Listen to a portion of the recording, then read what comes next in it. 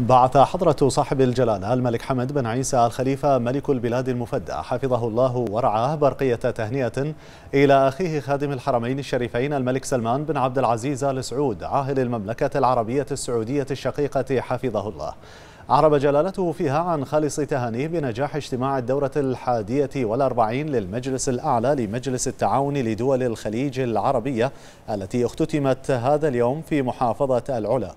وأشاد جلالته بالجهود الكبيرة التي بذلها بل التي بذلتها المملكة العربية السعودية بقيادة خادم الحرمين الشريفين وولي عهده الأمين صاحب السمو الملكي الأمير محمد بن سلمان بن عبد العزيز آل سعود في الإعداد والتحضير لانعقاد هذه القمة المباركة عبر تسخير كافة الإمكانيات وتذليل الصعوبات التي أسهمت في نجاحها.